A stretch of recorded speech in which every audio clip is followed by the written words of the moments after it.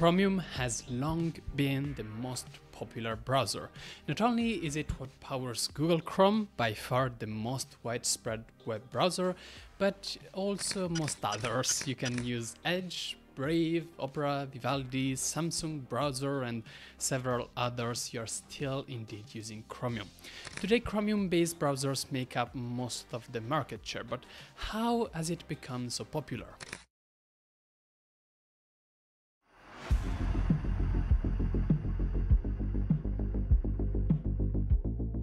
Back when Google released Google Chrome in 2008, everybody was using Firefox. It was Mozilla's open source successor to Netscape, the browser that had not much long prior saved the web from the infamous monopoly of Microsoft Internet Explorer 6 thus gaining a lot of market share for bringing the long-awaited breath of fresh air. At first, as one would expect, there was nothing majorly wrong with the browsers. It was based on open source code, it was using modern high-performance components like the V8 JavaScript interpreter, and it quickly gained a lot of popularity because it was fast. Just a few years after the release, there seemed to be no reason to use anything else. The browser worked very well, it had support for extensions, it worked swimmingly, it worked it worked swimmingly on smartphones and it provided very handy sync capabilities that allowed users to freely switch between several devices without losing their open tabs, bookmarks or passwords. Firefox for Android had been around for a little longer, but it had never worked that well. Hence, a lot of people decided to trust Google in the name of convenience. After all, this was around 2012 and the enshittification of the internet wasn't really a thing yet, and we still trusted Google to some extent. I, too, switched to Google back then, Chrome. It was just the logical choice, but as I was setting up my new browser with the same ad blocking and privacy extensions that I had on Firefox, I couldn't help but have a lingering thought in my mind. If Google makes money by profiling my data and serving me ads, then why do they allow me to just install AdBlock and use it? I remember mentioning this to my other techie friends, but they didn't seem to see anything off. Adblock users are a niche. There are so few of us that are using Adblock that Google won't even bother. And at that time, it was true. 10 years ago. 2014 is when things started to get ugly. Google took away the possibility to install extensions out of the Chrome Web Store, citing security concerns, and nobody really cared though. Ad blockers were still available on the Chrome Web Store, so nobody's workflow was disrupted. In 2018, Google anticipated they were working on a Manifest version 3, a new security focused API for extensions it already faced a lot of criticism at the time, but as usual, people didn't really care. The deployment wasn't imminent and ad blockers kept working. This was until, as of recently, Google finally decided to start moving to Manifest version 3 for real, after all. So, what's Manifest version 3? So, it is the newest platform that, that Chromium extensions will have to use. The name manifest comes from the manifest.json file that must exist in the root directory of every browser extension and contains information about how the extension is structured and how it behaves. This update is particularly interesting because it completely overhauls the security model of browser extensions, implementing more default denial policies and a stronger permission system as well, to the point of limiting them enough to make it very hard for ad blockers to do eff effectively their job. In their documentation, Google claims Manifest version 3 aims to be the first step in our platform vision to improve the privacy, security, and performance of extensions. Along, along with the platform changes, we are working to give users more understanding and control over what extensions are capable of. The changes will take several years to complete. But how exactly does this new platform work? Let's dive in.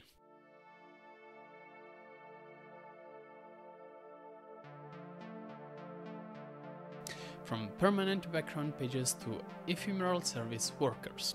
Traditionally, browsers extensions have always used a background page that ran on the same thread as the extensions and could be used to run arbitrarily scripts in the same thread. In order to ease the resource consumption caused by this solution, Google created an object called the service worker. In practice, a manifest version 3 extensions will not load a background page that will stay alive for the entire lifetime of the browser session, but it will run a script called serviceworker.js on demand. This web page is not resident in memory. In fact, it gets started when the extension is needed and stopped when the script has been idling for over 30 seconds. First off, as an example, any listeners need to be registered immediately at the top of the script since they can no longer be a part of a promise or a callback. That is because since the scripts get started and stopped all the time, it is not guaranteed that they will be able to be registered otherwise. Secondly, it is no longer acceptable to store data in global variables. Global data now needs to be stored and accessed through the browser storage API, since the web page will get often destroyed and restarted. Other changes include the switch from timers to alarms for situations where waiting for a certain amount of time is needed. Is there any way to get around this limitation and prevent our service workers from getting closed automatically, disrupting our workflow? Well, the answer is sort of, and this is exactly where the water gets muddy and political changes start to stack on top of technical changes. A script is not allowed to ask not to be killed for a limited amount of time.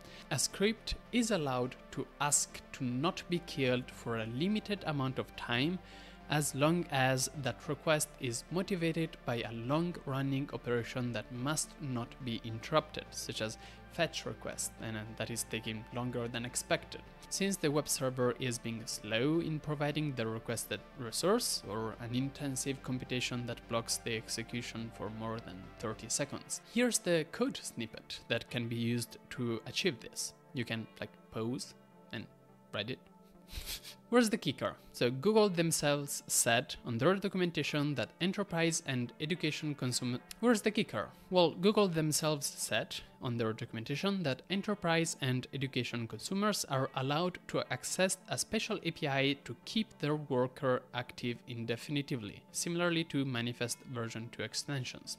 But this feature will not be allowed in general. In fact, the documentation reads in rare cases, it is necessary to extend the lifetime indefinitely. We have identified enterprise and ed education as the biggest use cases, and we specifically allow this there, but we do not support this in general. In these exceptional circumstances, keeping a service worker alive can be achieved by period periodically calling an um, trivial extension API. It is important to note that this recommendation only applies to extensions running on managed devices for enterprise or educational uses only. It is not allowed in other cases, and the Chrome extension team reserves the right to take action against those extensions in the future. Wow. If this rubs you the wrong way, you are very much not alone. This is not a technical requirement, it is a political change where Google reserve, reserves the right to decide who is allowed to poke holes at manifest version 3 restriction model in a completely arbitrary manner. There is another architectural architectural change that comes with manifest version 3, the introduction of off-screen documents and the move from single-threaded sequential operation to multi-threaded operation with message passing and multiple child scripts running in parallel, parallel to each other and to the service worker. So, off-screen documents service workers do not have DOM access, but uh, some ex extensions still need access to some sort of DOM to be useful. In Manifest version 3, this is accomplished through an off-screen document and their companion off-screen API. In practice, the extensions will be able to ship with that special documents that are supposed to run off screen, so not on the visible tab or window. They do not share this API with extension context. They uh, only the only API they support is the Chrome.runtime API, an event handler that is used for bidirectional message passing between the service worker and the off-screen document. These documents can still be used as full pages that the extension can interact with, but they cannot be displayed to the user graphically. The off-screen API needs to be called from the service worker script and it returns an object that refers to the off-screen document and has the same callable methods as Chrome.runtime API. Chrome, again, here's the code. Haha we've got technical documentation today. Remember how we talked about how the various documents and scripts that extensions need to have been moved to, off the main thread? This change does have benefits in performance, but it also means that they need to use message passing APIs to communicate with the rest of the extension. JavaScript does not natively support multi-threading, so, so it is necessary to resort uh, to hacks like this in order to get multiple threads to work together with a caller execution stream. This API works exactly as you would expect. A common channel between the service worker and the document gets established first, then both the service worker and the document listen for messages from the other end and respond to them using that channel. This API can be used both for short one-time messages. As an example, the document must notify the service worker that some kind of process, processed content is ready for rendering and should be rendered on the web page that is visible from the user and one for long-lived connections that allows for more messages to be sent for more complex use cases. Messages are JSON documents to serialize and deserialize seri serialize. Serialize. Message passing is asynchronous and non-blocking, though, which makes this solution rather optimized. While in Manifest version 2, the background page is started once and never reinitiated, in ver Manifest version 3 the service worker gets called only when it's needed. This means that any listeners that are registered inside of a promise or a callback are not guaranteed to work. We've talked about this. They need to be moved to the top level uh, of the script to work. Again, code. Keeping a service worker alive indefinitely is only allowed in select use cases like enterprise and education applications. This is the part that is most worrying so far. Heavy limitations have been imposed on how extensions can work in the name of performance, but some parties can escape a great deal of what makes this change so painful for ad blockers, and Google is the only arbiter of who can and cannot get around one of the biggest limitations of Manifest version 3, especially since it has not been possible to install extensions from external sources for years. Also, one of the most fundamental changes to the new extension interface is the new security model. In the name of security, extensions now have to follow strict limits and have to run much of their code in a sandbox. One of the crucial changes that extensions face in Manifest version 3 is that they are, they are no longer allowed to download and execute arbitrary code from external sources, but all of the JavaScript code they run needs to be bundled in the extension package, which needs to be distributed through the Chrome Web Store. This has advantages and disadvantages. Though the course of history, it has happened several times that browser extensions got hacked or both out, and as they became compromised, they began pushing and running malicious code in people's browsers without any sort of review. With this change, Google will be able to review all code that users run, which allows Google to stop malicious code from being automatically downloaded to the user computers. Extensions that needed to deliver hot patches or just remotely download code for benign purposes can no longer do that, and this can be a major limitation. Many libraries assume remotely hosted code, and Google makes no exceptions for those, not even for its own first party Firebase library. There are a few exceptions to this rule. Firstly, you can still inject remotely hosted CSS style sheets into a web page using the insert CSS method. And secondly, you can use the inspect_window.eval method inside Chrome DevTools to allow executing JavaScript in the context of the ins inspected page. And lastly, extensions that are uh, that act as debuggers are allowed to run uh, JavaScript on a debug target. User script uh, extensions like TamperMonkey and ViolentMonkey will also get a pass for downloading remote user scripts. The change that impacts ad blockers uh, the most is how modification of web requests work. Namely, the web request API was deprecated in favor of the web request API. Who the fuck wrote this? no, seriously, it says, namely, the web request API was deprecated in favor of the web request API. Okay, look up. Okay, it's actually called the Declarative Net Requests API. That's the new name. My scriptwriter kinda, you know, messed up here. okay, so back into track. But what does this mean for ad blockers and privacy extensions? So in Manifest version 2, extensions could access the web request API. This API is used to observe and analyze traffic and intercept, block or modify requests in flight. This is an extremely powerful feature that allows to not only analyze traffic between the browser and website, but it can also be used to block uh, requests uh, interesting certain domains.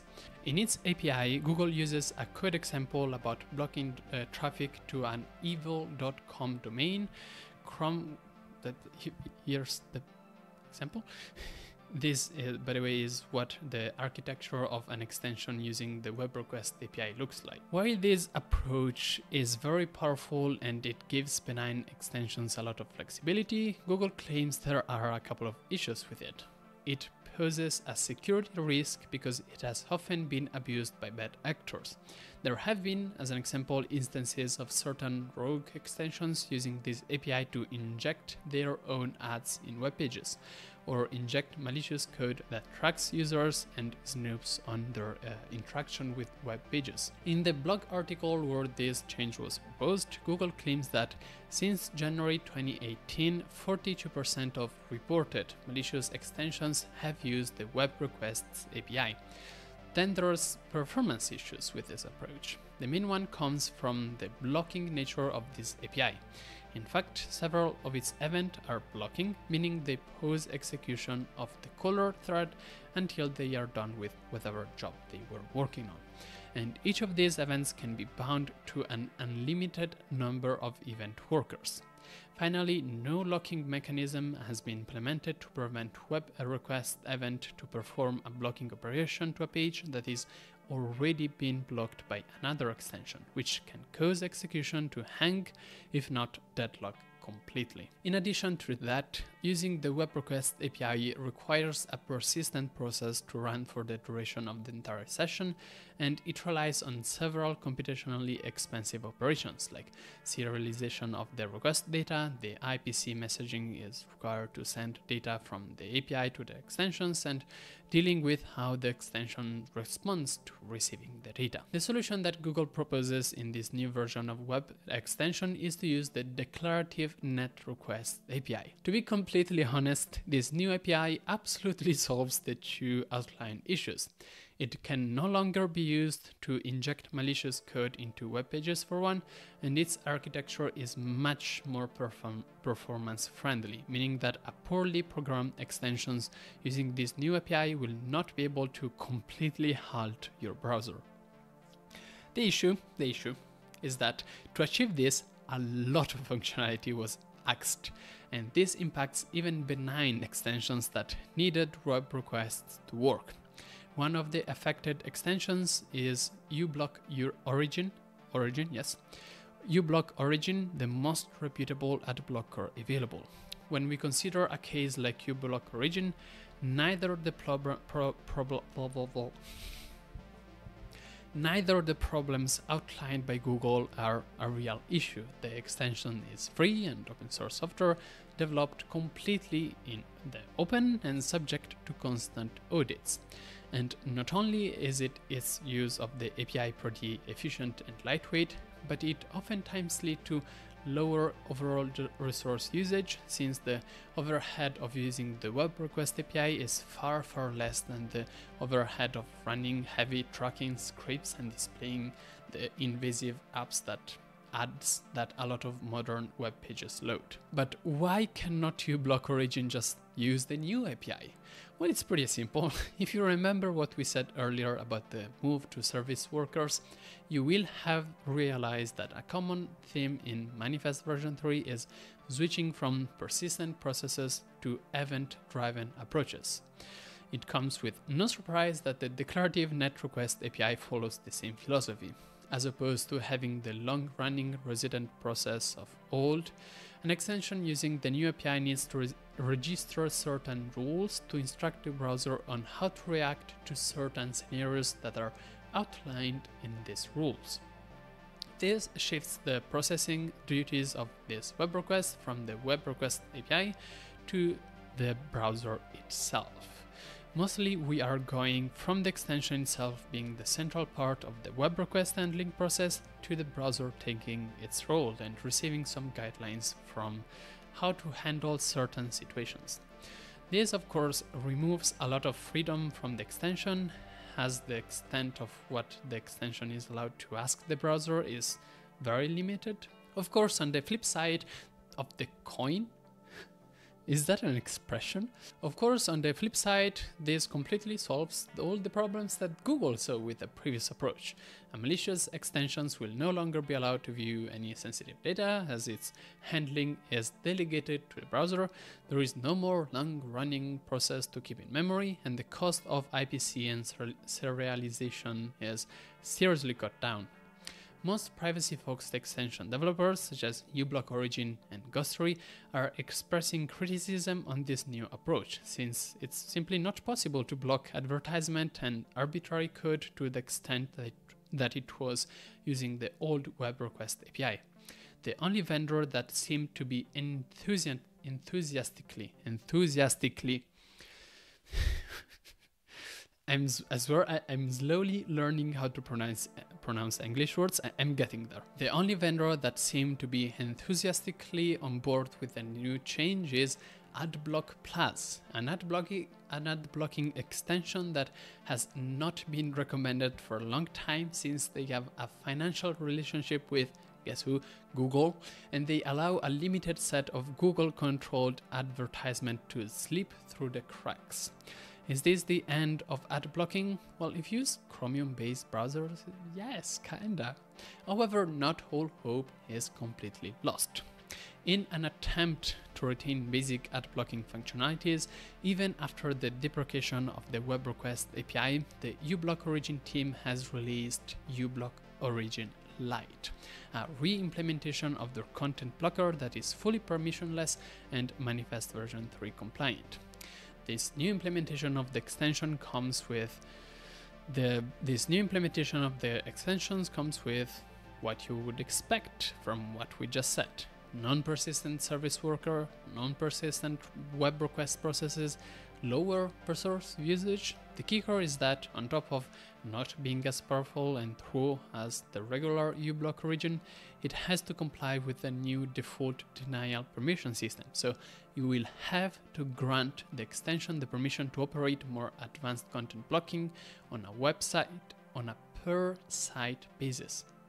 Click, click on each website. We can see upon installing the extension that there are three different filtering modes, basic, optimal and complete. From the extension settings, a user can request to change the global blocking. From the extension settings, a user can request to change the global blocking policy. When this is done, the extension will ask for the user to deny or grant the new set of permissions it's asking for through Chromium Permission Manager.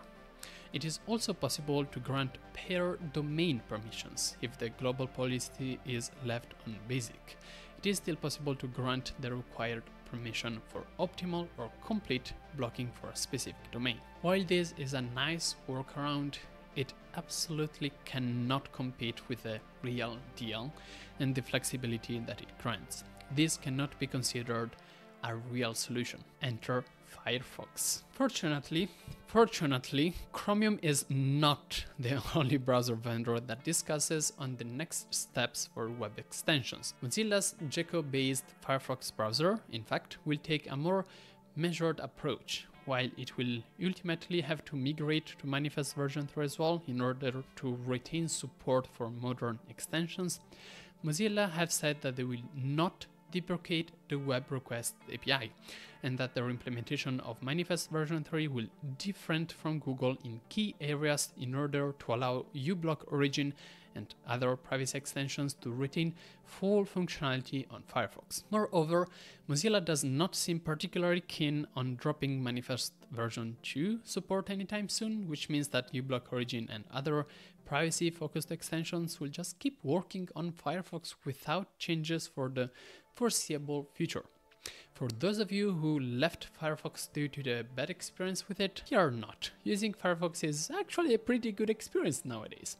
It's a lot more lightweight than Chromium. Performance is absolutely good enough. Website incompatibility incompatibilities. Website incompatibilities are rare and Linux support is top notch, with Firefox having much better touchscreen and touchpad scroll physics on Linux compared to Chromium as well as having more stable Wayland mode that is active by default, which also allows to use smooth touchpad gestures that follow the finger from the beginning to the end, like buttery smooth one-to-one zoom and pan and two-finger scrolling to quickly go back and forth in your browser. History.